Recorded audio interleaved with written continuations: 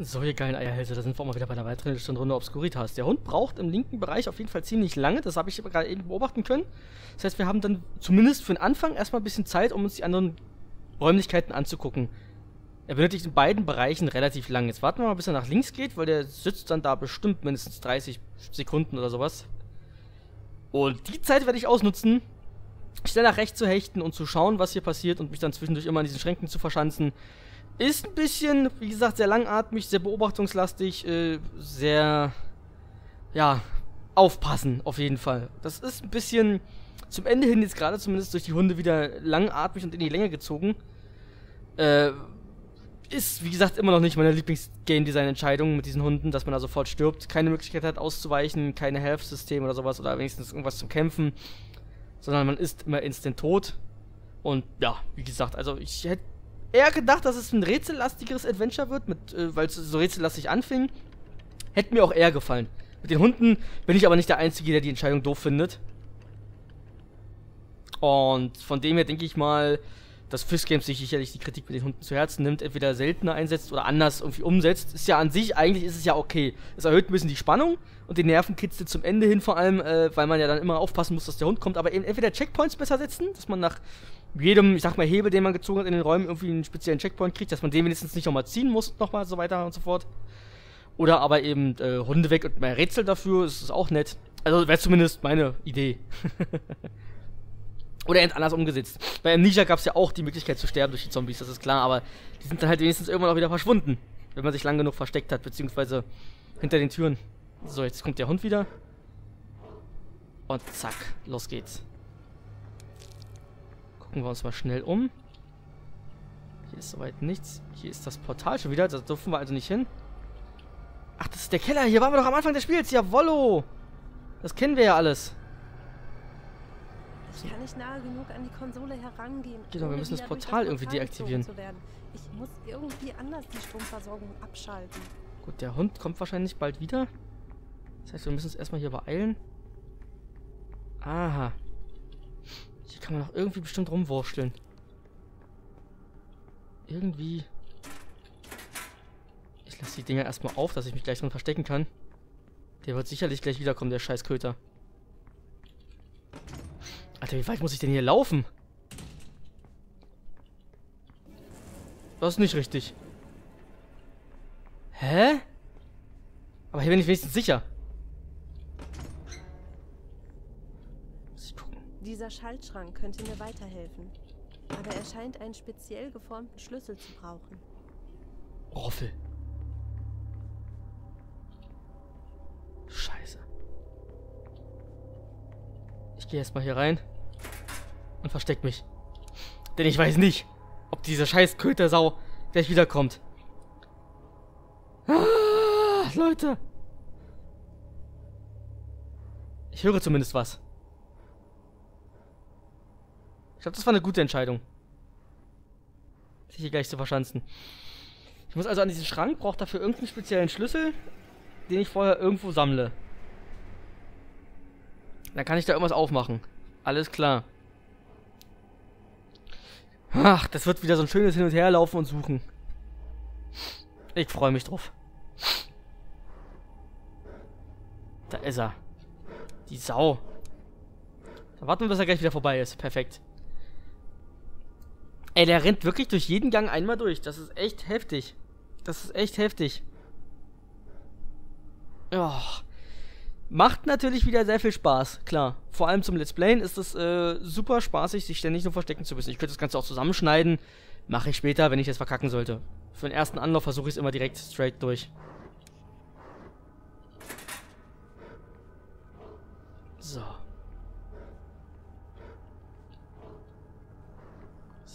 Hier muss ja dann irgendwo in der Nähe irgend so ein Schlüsselteil liegen. Auf einen der Kisten vielleicht? Da ist irgendwas. Das sieht doch danach aus. Ja, perfekt. Ah, wunderbar, Leute. Ging ja doch flotter als gedacht, dass ich das Teil finde. Okay, das war Nummer 1. Nummer 1! Alles klärchen. Dann rennen wir mal schnell vor und gucken, ob wir uns hier demnächst wieder in irgendeinem Schrank verstecken können.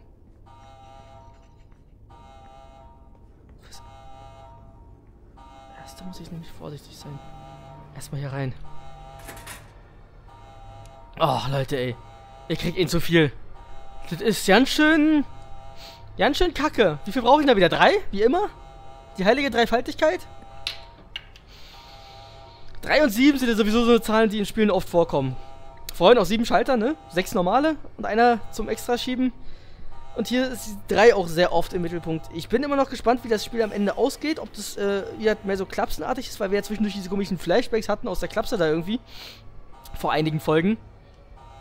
Und denke mal, das wird irgendwie so eine Richtung gehen, weil hier sehr viel so eine komischen Abstell-Abbrenndinger ausstehen. Also ich vermute mal, aber es ist alles irgendwo auch ein bisschen merkwürdig. Mit dem Onkel und dem Brief. Werden wir ja aber zum Schluss erfahren. Ah, Leute, ey. Ich schnibbel kurz den Hund raus. So, er kommt wieder zurück. Warten wir noch kurz, bis er gleich da ist und dann laufen wir einfach wieder ganz gemütlich hinterher und schauen, ob wir dann irgendwo den Schlüssel hier vielleicht oder im nächsten Raum oder irgendwo sonst finden. Alles mega spaßig, Leute. So, gucken wir uns mal hier ganz genüsslich in Ruhe hinter ihm um. Aber hier scheint nicht zu sein. Okay, gehen wir weiter. vorne ist er jetzt. Okay, das heißt, wir gehen mal hinterm Portal. Nee. Vorm Portal lang. Wo könnten hier denn noch die weiteren Teile sein? Ist hier vielleicht auf dem Ding irgendwas drauf? Nee. Da irgendwo. Ich finde aber auch nichts. So. fuck. Wo sind die Kästen? Ich finde auch keinen Kasten mehr.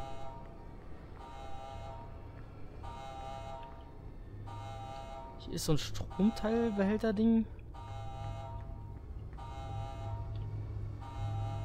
Ich glaube, er kommt. Ah. Oder? Ich sehe hier gar nichts, ey. Da ist das dumme Portal. Ah, da ist ein Klöppelding. Perfekt. Ist da vorne irgend so ein Stromteil noch. Aber gucken wir uns erstmal hier in Ruhe um. Da drüben waren wir eben. Hier ist soweit auch nichts. Nö. Hier sind irgendwo so eine Stromdinger. Ich gehe mal wieder hier rein. Oh, das war knapp. Oh, fuck off, Alter. Das war gerade knapp, ey. Da gegenüber ist direkt einer. Passt nicht? Na, alles klar. Dann hier hinten vielleicht irgendwo. Ist hier drin irgendwas? Nee. Ah, hier. Perfekt. Das war Nummer zwei. Fehlt nur noch einer. Okay. Mal schauen, ob ich hier vielleicht irgendwas anderes finden kann. Am Eingangsbereich. Die Tür ist verschlossen. Finde den passenden Schlüssel. Was?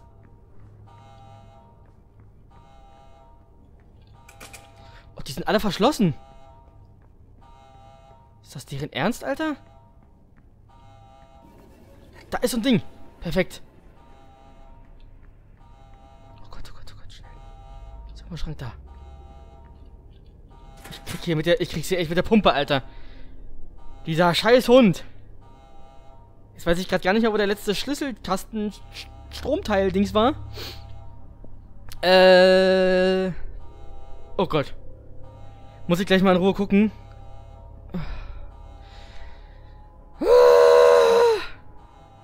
Bisschen scheiße ist das hier. So, wir warten mal wieder auf den Hund. Ah, wir sehen uns danach gleich. So, da ist die Töle. Ich höre sie, ich höre sie hecheln zumindest. Jawohl, da ist er. So, schnell raus. Und zum nächsten Sicherungskasten. Der war, ich weiß es gerade gar nicht mehr. Irgendwo hier mir gegenüber. Genau, da ist er. Das war der letzte. Hoffen wir, dass es funktioniert so. hat. Ja, es funktioniert. Das Portal schließt sich wieder. Perfekt! Yes! Oh, Leute, ey. Wenigstens im nächsten Kapitel gelandet. Was eine Fickscheiße, ey. Boah, ist das eklig. Mit diesem Hund. Was denn das jetzt für ein The Ring-Mädchen, ey? Samara, was machst du denn da?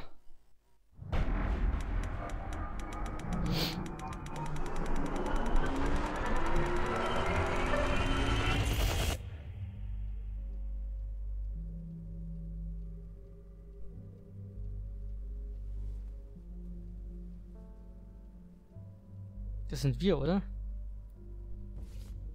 Ah.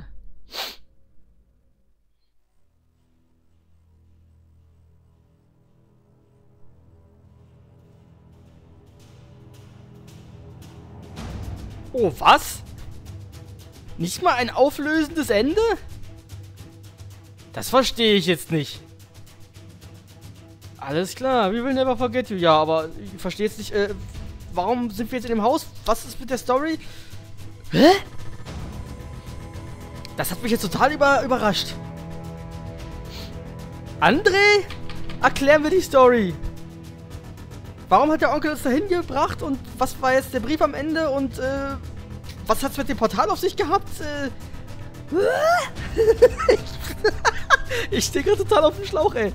Hm. Shivas Tochter hat gesprochen. Moin. Kennt man ja, auch Let's Playerin. Alles klar, Leute. Ich hoffe, euch hat das Let's Play gefallen, auch wenn es am Ende hin ein bisschen frustrierend wurde wegen der Hunde, an und für sich, aber wenn man die ganzen äh, Systeme kennt und nutzt, ist es schon äh, nicht allzu schwer. Man hat aber trotzdem seine Probleme damit gehabt, gerade an den Verfolgungssequenzen und sowas. Also, die Hunde fand ich jetzt irgendwie, boah, die haben mich mehr frustriert, als sie Spannung gebracht haben. Gibt's, gibt's andere Möglichkeiten, definitiv, ähm, aber an und für sich nettes Spiel, nettes Settings, auch wenn es teilweise ein bisschen äh, willkürlich wirkte, wie man äh, vorankommt. Eben auf einmal so auf dem äh, Jahrmarkt und dann auf einmal in einem Irrenhaus, irgendwie alles so ein bisschen merkwürdig wieder, was es mit dem Portal genau zu tun hatte, ob das jetzt irgendwie, ich dachte eigentlich erst, man ist da irgendwie in so einer Irrenanstalt oder sowas. Nun gut, Story hat mich jetzt ein bisschen überrascht zum Ende hin, so abrupt beendet, ohne es aufzuklären, wie gesagt. Aber an und für sich ähm, netter als Private Drive, bis auf die Hunde. Dafür eben dieses äh, System, dass man stirbt, wenn man sich erschreckt, ist auch weg. Ähm, aber ja, kann man mal machen, kann man mal machen. Danke auf jeden Fall äh, für den Key fürs Games. Ich freue mich auf euer nächstes Horrorspiel. Ihr nehmt ja, denke denk ich mal, die ganze Kritik der Leute in den Kommentaren und der Let's Player auch, denen ihr den Key gegeben habt, ernst. Und mal gucken, was ihr dann zaubern könnt für uns zum Spielen wieder. Mir hat es auf jeden Fall trotzdem Spaß gemacht, im Nachhinein betrachtet. Ähm, auch wenn ich viel neu starten musste und ein bisschen Trial and Error zumindest für mich dabei war. Auch, es gab zwar natürlich versteckte Hinweise, bestimmt irgendwo, die, die es zu beachten galt. Aber ihr kennt mich ja, beim Aufnehmen selbst bin ich manchmal ein bisschen zu dusselig. Nordic. Gut. Was gibt es noch abschließend zu sagen? Wie gesagt, ich bin auf jeden Fall auf eure Meinung auch gespannt in den Kommentaren. Als Zuschauer, äh, auch fürs Games gerne, ob ich mich äh, gut angestellt habe, ob ihr das Let's Play mochtet. Weil man möchte ja trotzdem ähm, beim nächsten Mal wieder dabei sein dürfen, ohne auf die Finger gehauen zu bekommen. Ja, ab und zu hat es mal auch, was ich äh, aus technischer Sicht äh, noch zu beanstanden hatte, seltsamerweise auch immer so ein bisschen geruckelt, äh, gerade äh, beim Jahrmarkt und so weiter und so fort, oder draußen hinter dem Jahrmarkt gab es ja diese, diese Szenen, wo man diese ähm, Zahnräder finden musste. Da habe ich nicht verstanden, warum. Ich habe alles eigentlich auf Medium gestellt, teilweise sogar auf Low. Äh, ging trotzdem komischerweise ein bisschen ab. Ähm, nächstes Mal vielleicht irgendwie gucken, entweder liegt es an der Engine oder an meiner Leistung, an meinem PC. Ich weiß es nicht, ob es bei anderen genauso läuft. Aber naja. Some shouts from Fist Games go out too. An verschiedene Leute, deren Namen mir nichts sagen. hm. Dirk Burger. Familie? André? Bruder, Vater, Onkel, Schwester? Gut, Dirk namens Schwester. Äh, eine Schwester namens Dirk. Eine Dirk namens Schwester. Haha! Ich bin auch mal wieder drauf, ey. Caipirinha Games. Oh, jetzt ein Kaipi, ey. Harald Frenkel. Pace. Oh, jetzt kommen die ganzen Markiplier. Jetzt kommen die ganzen äh, Let's Player oder was? Habe ich mich verpasst? Shivas Tochter. Ellie Grimm, okay. Ein Sachsen-Let's Player. Alles klar.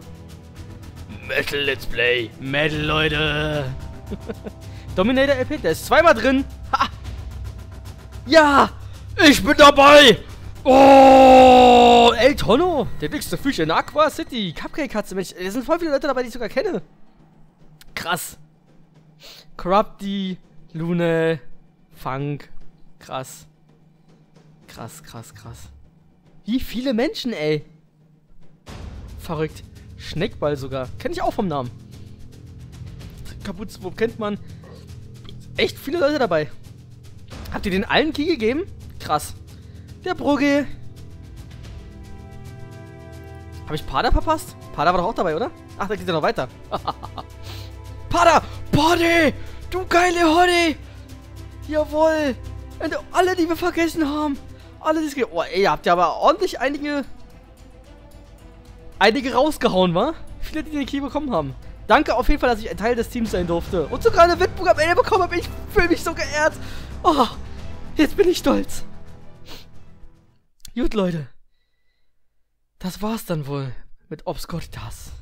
Und mir, Lunetski. Wie gesagt, wir sehen uns beim nächsten Spiel. Vielleicht mache ich das in Obscuritas sogar ein Obscure. das ist ja auch noch da. Und das fand ich sogar ziemlich geil damals. Ich habe es nur, zwar nur angezockt. Die ersten zwei Stunden oder so. Danke für das Jumpscare zum Ende. Ihr Wikes-Gesichter, ey. So, Leute. Dann sehen wir uns. Schreibt mal in die Kommentare, was ihr sonst noch so gerne sehen wollen würdet als Horrorspiel. Ich habe Obscure zur Auswahl, ich habe Silent Hill zur Auswahl, ich habe... Oh, boah. Eine Menge lange Projekte auf jeden Fall. Ähm, aber wie dem auch sei, ich lege jetzt ein Ei. Auf dann auf bald. Auf Wiedersehen. Tschüssikowski. Lalalala.